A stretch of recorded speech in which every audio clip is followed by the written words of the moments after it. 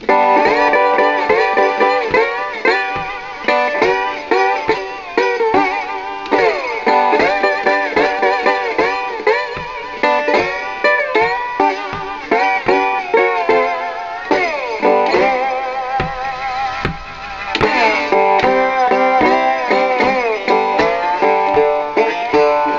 going to start working on Mississippi Fred McDowell's version of You Got to Move. We're going to begin by trying to find the melody line. The words go, You got to move.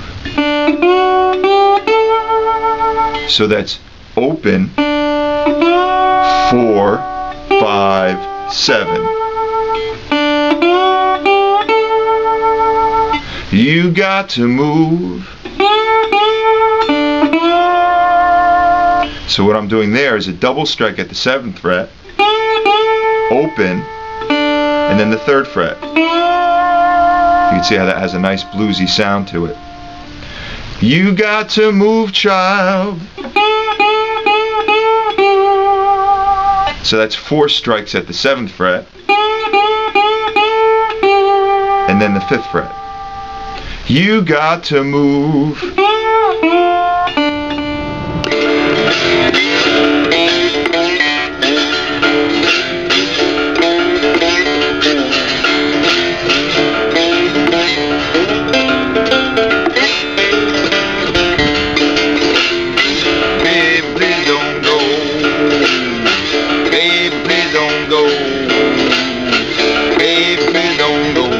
To New Orleans, 'cause I love you so.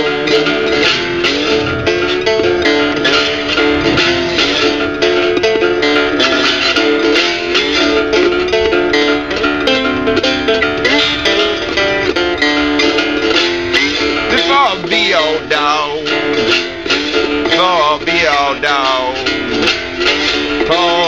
all all get you way down here by the rolling fountain. Hello, this is Keni Lee Burgess and welcome to How Do You Play Walking Blues by Robert Johnson, Part 1. In this section we're going to work on the main lick.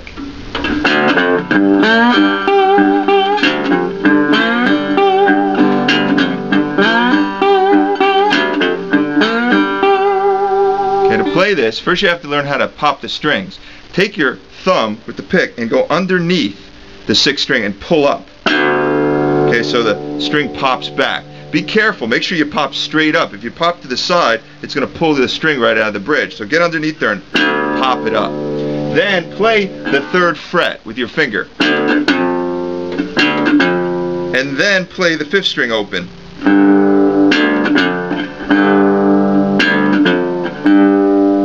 Okay? Now that's the first part of the lick. Then you're going to go to your third string and you're going to slide uh, across the third fret. And then play the fourth string open. So, so far it'll sound like this. Then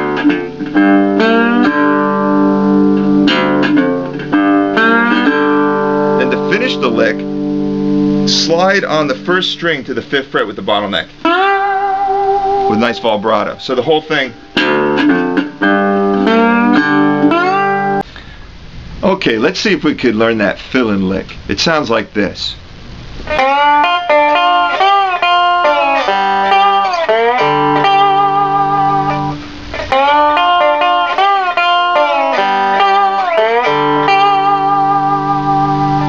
Play it, what I'm doing is I'm I'm starting on the uh, first two strings. I'm actually barring across at the third fret, and then I'm playing a little lick that's going to start on the second string. So string-wise, it's going to go two, one, two, one. So you play that once. Then you go to the first string at the fifth fret, uh, first string, third fret.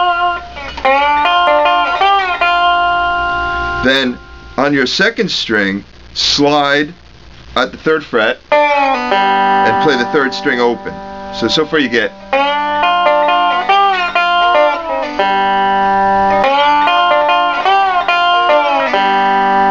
Then I go to the fifth fret, the first string.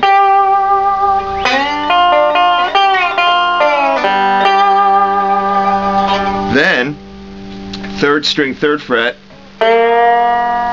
You, you, slide and then hit the fourth string open and then fifth string, first fret.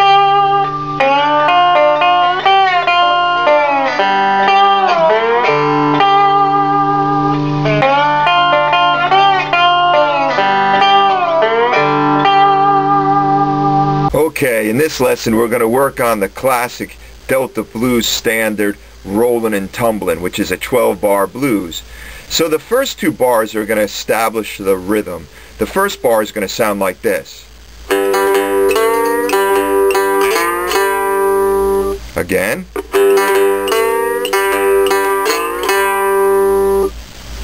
Bar 2 is very similar except for a little variation. It's going to sound like this. Again. So if you put bars 1 and 2 together, you get the full rhythm. It would sound like this.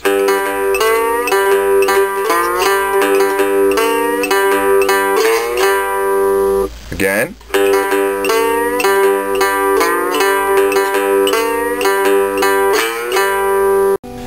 Hello, this is Keni Lee Burgess and welcome to Lesson 2, How Do You Play Four-String Cigar Box Guitar. In this lesson, we're going to work on Little Red Rooster.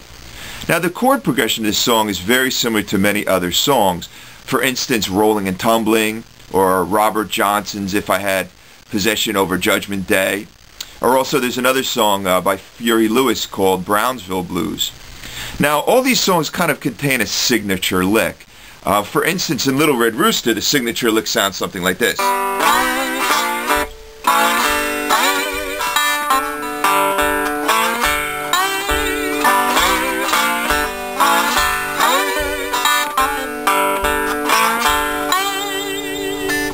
In rolling and tumbling.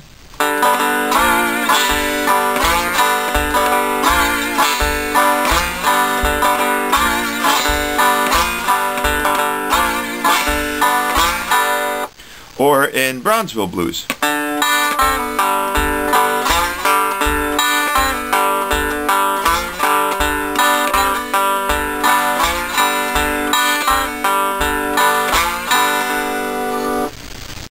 Here's that walking bass. And one of the really cool things about a fretless instrument, like a fretless upright bass, is you're able to get this kind of slidey sound that uh, is very unique that you can't get with frets because you'd be jumping over those frets. It would be making a noise where here it doesn't.